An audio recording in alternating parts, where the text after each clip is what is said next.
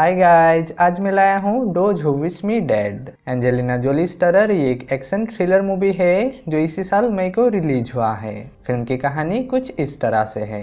किसी जंगल में भयंकर रूप से आग लगी होती है, जिसे बुझाने के लिए फायर फाइटर की एक टीम लैंड करता है। इस टीम की कप्तान थी हैना वो लोग आग को बुझाने में लगे थे, मगर इसी दौरान हवा का रुख बदल जाता है और आग तेज़ी से उनकी ओर बढ़ने लगता है। वो लोग भाग ही रहे थे, मगर तभी एक पेड़ गिरता है और उनका एक साथी आग के चपेट में आ जाता है। तभी दूसरी ओर से कुछ लड़कों के चीखने की आवाज़ आती है, जिसके साथ ही हैना की नींद टूट जाती है। इससे हम समझ पाते हैं कि हैना अपनी उस अतीत को लेकर स्ट्रगल कर रही है। उसी सुबह डिस्ट्रिक्ट अटॉर्नी रॉबर्ट की वाइफ मेरी दरवाज़ा खोलती है तो सामने से दो आदमी जैक और पैट्रिक खुद को फायर डिपार्टमेंट से बताते हुए कहता है कि उनके सिस्टम में यहाँ से गैस लीक का अलर्ट आया था। क्या वो लोग अंदर आकर देख सकते हैं? इस पर मेरी उन्हें अंदर आने देती है और फिर कुछ देर बाद वो दोनों वहाँ से निकलकर जाने लगते हैं। सब कुछ बिल्कुल पीसफुल नज़र आ रहा था, पर उनके जाने के साथ ही घर में धमाका हो जाता है। इससे हम समझ पाते हैं कि वो दोनों यहाँ उन्हें मारने आया था।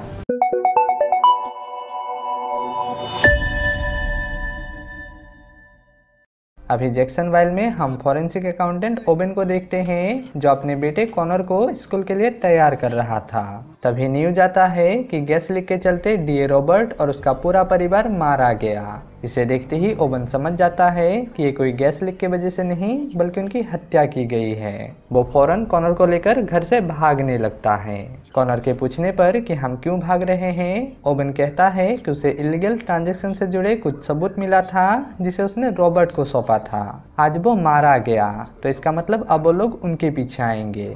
इसीलिए उन्हें सिर्फ़ ऐसे लोगों के पास जाना होगा, जिन्हें वो लोग अच्छी तरह से जानते हैं। इधर वो दोनों एसासिन ओबन के घर पहुँचता है और देखता है कि ओबन घर से भाग चुका है। वहीं पर उन्हें एक फ़ोटो मिलता है, जिसमें ओबन और कॉनर एक कपल, इथन और एलिसन के साथ था। इथन शेरिफ है मतलब पुलिस वाला, और एलिसन एक सर्वाइवल स्कूल चलाती है।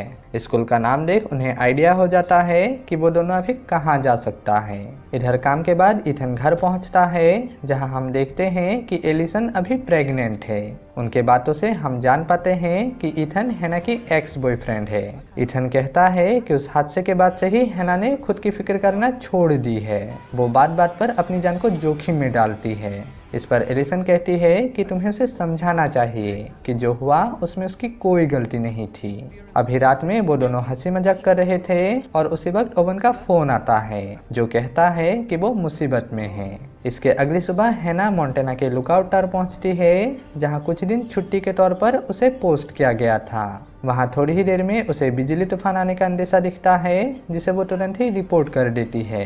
पर उधर से जवाब आता है कि जब तक तुम्हें जंगल में आग ना दिखे, कुछ भी रिपोर्ट मत करना। हैना समझ जाती है कि उसे नज़रअंदाज किया जा रहा है। उसे फिर से याद आता है कि कैसे उसके सामने ही उसके एक साथी और वो तीन मासूम लड़के आके चपेट में आ गया। वो रोने लगती है।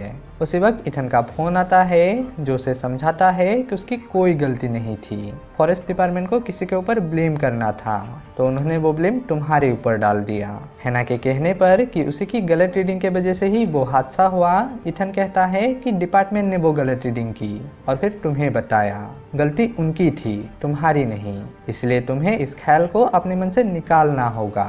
इधर होटल में ओबेन कॉनर को एक लेटर देता है और कहता है कि अगर मुझे कुछ हो जाए तो फिर इस कागज़ को तुम सिर्फ़ ऐसे इंसान को देना जिस पर तुम भरोसा कर सकते हो। और फिर वो दोनों वहाँ से निकलकर जाने लगते हैं। वहीं जैक और पैट्रिक भी मोन्टेना पहुँच चुके थे, जो रास्ते में एक जगह पोजीशन लेकर ओबिन के आने का इंतज़ार करने लगता है। उधर वो बिजली तूफ़ान जंगल के करीब तक आ पहुँचता है, जिसमें से भयंकर रूप से बिजली गिरने लगती है। तभी एक बिजली टावर में भी गिरने वाली थी, जिसे देखे ना, फ़ौरन नीचे उतरने लगती है, पर रस्सी छूट जाने की वजह से वो गिरकर बेहोश हो जाती है। इधर रोबिन जैसे ही उस जगह पहुँचता है, दोनों एसासिन उन पर गोली बरसाने लगते हैं। वे जैक से तो किसी तरह बच जाते हैं। और ऊपर रहे पेट्री की गोली से ओबिन घायल हो जाता है और गाड़ी सीधा नीचे जा गिरता है। बचने का कोई चारा ना देख ओबिन कॉनर को कुछ सबूत देता है और कहता है कि तुम उस नाले से होकर भागते रहो, क्योंकि नाले नदी तक ले जाते हैं और नदियाँ शहर तक। तुम्हें ये सबूत न्यूज़ के सामने रखना है। ये कहने के बाद ओबिन उसे जाने को कहता है। कॉनर झाड़ी के पीछे छुपा रहता है, जहाँ उसके आँखों के सामने ही जैक और पेट्रिक ओवेन को मार डालते हैं। उसी वक्त आगे से एक गाड़ी आती है, जिसे देखिए फ़ौरन हथियार को छुपा देता है। वो औरत आकर पूछती है कि क्या यहाँ कुछ हुआ है? जवाब में जैक कहता है, जी नहीं, मैम, सब कुछ ठीक है। और इतना कहते ही वो गन निकालकर उसे शूट कर देता है। इससे एक बात तो साफ़ हो जाता है कि अपने मिशन को पूरा करने के लिए ये दोनों किसी भी हद तक जा सकता है। गाड़ी को किनारे कर वे वहाँ से निकल जाते हैं। मगर रास्ते में ही उन्हें न्यूज़ मिलता है कि यहाँ हिल रोड के पास दो लोग मारे गए हैं। एक औरत और एक मर्द। वे समझ जाते हैं कि ओवेन का बेटा वहाँ से बच निकला है। इतने में ही उनके बॉस का फ़ोन आता है और जैक कहता है कि हम तुरंत आ रहे हैं। इधर होश में आने के बाद हैना अपने घाव को साफ़ कर रही थी और उसी वक्त भागते भागते कॉनर भी वहाँ आ पहुँचता है। हैना को देख वो भागने लगता है, पर आखिरकार हैना के भरोसा दिलाने पर कि वो उसकी मदद करना चाहती है, उसके साथ टावर की ओर चलने लगता है। इधर जैक उनके बॉस से जाकर मिलता है, जहाँ उनका बॉस आर्थर कहता है कि तुमने उस लड़के को मिस कर दिया। मान लो कि जो सबूत हमें डीए के घर से मिला, ओबेन ने उसका डुप्लीकेट बना लिया था, और अब वो डुप्लीकेट उसके बेटे के पास है और अगर मान लो कि अगर उसने वो सबूत न्यूज़ के सामने रख दिया तो फिर हमारी दुनिया में तबाही मच जाएगा। इसलिए जो भी करना है, बिल्कुल बारीकी से करो। तुम्हें पूरी छूट है, जो करना पड़े करो, मगर उस लड़के को खत्म कर दो। ये कहते हुए आर्थर चला जाता है। जैक पेट्रिक से कहता है कि अब से जो भी हमारे रास्ते आएगा, हम उसे खत्म कर देंगे। पेट्रिक के कहने पर, मगर इससे तो पूरे शहर का ध्यान हमारी तरफ़ आ जाएगा। जैक कहता है तो फिर शहर का ध्यान इस चीज़ से हटाकर कहीं और लगाना होगा। और ये कहने के बाद वो फ्लेयर्स निकालता है और जंगल की ओर फेंकने लगता है। इथन, जो उसी हिल रोड से होकर जा रहा था, गाड़ी को रोकता है और देखता है कि जंगल में आग लग चुका है। इधर टार में पहुंचकर हैना देखती है कि बिजली की वजह से वहाँ का सारा इक्विपमेंट खराब हो चुका है। इसे देख वो कहती है कि अब हमें शहर तक चलकर जाना होगा। अब अगर तुम चाहो तो हम आज रात को ही निकल सकते हैं या फिर कल सुबह को। इस पर कॉनर उसे वो खत देता है, जिसे पढ़ने के बाद हैना कहती है कि हम अभी निकल रहे हैं। अभी शाम के वक्त एलिसन उस हिल रोड वाली न्यूज़ को सुन रही थी और तभी वहाँ एक गाड़ी आता है।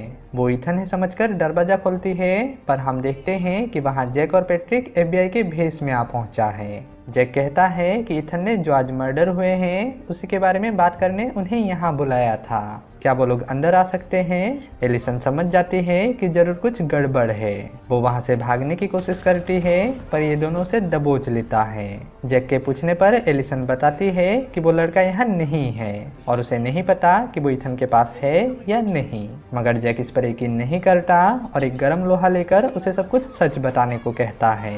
इस पर एलिसन उससे झूठ बोल देती है कि हाँ इथन को वो मिल चुका है। कंफर्म करने के लिए जैक उसे इथन को कॉल लगाने को कहता है और कहता है कि वो उसके साथ बिल्कुल कैजुअली बात करे। यहाँ पर एलिसन इथन को एक सीक्रेट मैसेज दे देती है, जिसे जैक पकड़ लेता है और फिर उसे मारने वो आगे बढ़ता है। मगर एलिसन अपनी होशियारी से उन पर फायर स्प्रे कर वहाँ से भागने में कामयाब हो जाती है। इधर हैना और कॉर्नर चलते हुए जा रहे थे, और तभी रास्ते में ही वो लोग बिजली तूफ़ान के चपेट में आ जाते हैं। उससे बचते हुए दोनों भाग रहे थे, मगर तभी एक बिजली हैना के बिल्कुल करीब आ गिरता है, और कुछ पल के लिए वो बेहोश हो जाती है। कॉर्नर घबरा जाता है, और कहते हुए कि वो उसके आँखों के सामने ही मारा गया, वो रोने लगता है। यहाँ ये दोनों एसासिन एलिसन को ढूँढने में लगा था और उसी वक्त इथन एक शेरिफ के साथ वहाँ पहुँचता है। पर इससे पहले कि वो लोग कुछ कर पाते पैट्रिक शेरिफ को गोली मार देता है और फिर पीछे से जैक आकर इथन को बंदी बना लेता है। वो कहता है कि अगर तुमने कोई भी होशियारी की तो तुम्हारी प्रेग्नेंट पत्नी मारी जाएगी। पूछने पर कि वो लड़का कहाँ है इथन कहता है कि उन्हें अभी भी वो नहीं मिला है। शायद टक्कर के दौरान वो गाड़ी से बाहर गिर गया होगा।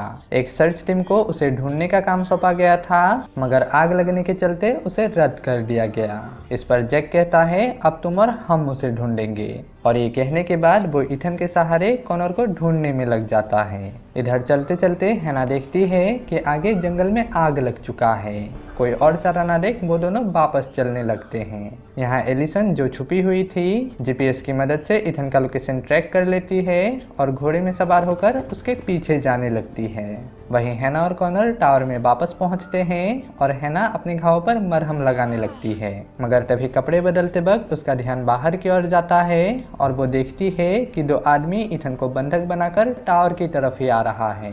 इसे देख वो फ़ौरन कॉनर को नीचे झुकने को कहती है। यहाँ जैक पैट्रिक से कहता है कि वो लोग छुपकर टावर पर नहीं चढ़ सकते। अगर वहाँ कोई फायर फाइटर है तो वो उन्हें आसानी से मार देगा। फिर वो इथन से कहता है कि टावर पर तुम चढ़ो। अगर वो लड़का वहाँ है तो उसे नीचे लाओ। और अगर नहीं है तो नीचे आते वक्त टावर को आग लगा देना, ताकि हमें पता चले कि तुम सच कह रहे हो। पैट्रिक एक पेड़ पर चढ़ने लगता है और इठन टावर पर। वहाँ चढ़कर वो उन्हें आगाह करता है कि वो लोग जहाँ है, वही छुपा रहे। मगर पैट्रिक उसे बात करते देख लेता है और वो दोनों टावर पर गोली चलाने लगते हैं। इठन घायल हो जाता है, मगर हैना और कॉनर वहाँ से उतर कर भागने लगते हैं। ये दोनों भी उनके पीछे जा रहे थे, मगर उसी वक्त एलिसन भी आ पहुँचती है और इन पर गोली चलाने लगती है। अब इसे देख जैक पैट्रिक को कॉनर के पीछे जाने को कहता है और खुद एलिसन की ओर बढ़ता है। पर ठीक उसके पास पहुँचते ही उसकी मैगजीन खाली हो जाता है और मौका देख एलिसन उसे घायल कर देती है। उसके पूछने पर कि इथन कहाँ है? जैक कहता है कि वो टावर के ऊपर मरा पड़ा है। इसे सुन एलिसन शूट कर देती है, मगर उसकी भी राइफल खाली हो चुकी थी। अब इसे देख जैक तुरंत रिलोड करने लगता है, मगर इससे पहले कि वो एलिसन को मारता, एलिसन रिलोड कर उसे शूट कर देती है। जैक कहता है कि मुझे इस जगह से नफरत है। जवाब में एलिसन कहती है, ये भी तुम्हें उतनी ही नफरत करती है और फिर वो उसे मार देती है। इधर चोट की वजह से हैना और आगे नहीं चल पाती और इसलिए वो कॉनर को इंस्ट्रक्शन देकर कि वो कैसे आग से बच सकता है, वहाँ से जाने को कहती है। कॉनर नहीं जाना चाहता, पर हैना के जीत के आगे मजबूर होकर वो चला जाता है। हैना बैग से एक एक्स निकालती है और जाकर एक पेड़ के पीछे छुप जाती है। कुछ ही देर में वहाँ पैट्रिक भी आ पहुँचता है और वो उन दोनों को ढूँढने लगता है। हैना उसे ट्रिक करके मारने की कोशिश करती है पर पैट्रिक बच जाता है। वो हैना को मारने ही वाला था, मगर तभी कॉर्नर आकर उसका ध्यान भटकाता है और मौका देख हेना उस पर हमला कर देती है। कॉर्नर वापस छुप जाता है और ये दोनों आपस में लड़ने लगते हैं। मगर हैना पेटिक के सामने नहीं टिक पाती और पेटिक मार मार कर उसे अधमरा कर देता है। वो कॉर्नर से कहता है कि अगर वो सामने आ जाए तो वो हैना को एक आसान मौत देगा। उसे नहीं तड़ पाएगा, नहीं तो वो उसे इसी तरह मारता रहेगा। कॉर्नर बाहर आ जाता है, जिसे देख पैट्रिक हैना को छोड़ उसकी ओर बढ़ता है। वो कोनर को मारने ही वाला था कि तभी हैना पीछे से वार कर उसे बुरी तरह घायल कर देती है। तभी आपको करीब आता देख पेट्रिक कहता है कि मुझे खत्म कर दो।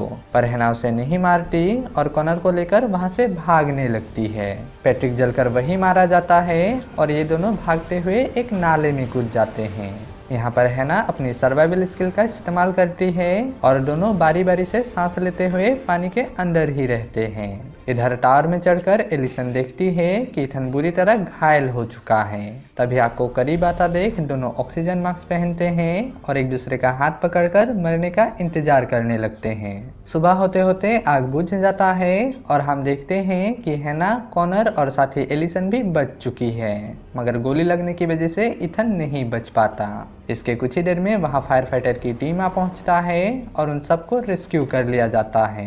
हैना को देख हम समझ पाते हैं कि फाइनली वो अपने गिल्ड से आज़ाद हो चुकी है। अभी कैंप में कॉनर कहता है कि उसे डर लग रहा है। उसका क्या होगा? वो कहाँ जाएगा? इस पर हैना कहती है, हम मिलकर इसका कोई ना कोई हल निकाल ही लेंगे। फ़िलहाल तो तुम जाकर अपना इंटरव्यू दो। कुछ ही देर में वहाँ न्यूज़ टीम आ पहुँचता है और कॉनर के जाने के साथ ही ये मूवी यहीं पर डी एंड हो जाता है।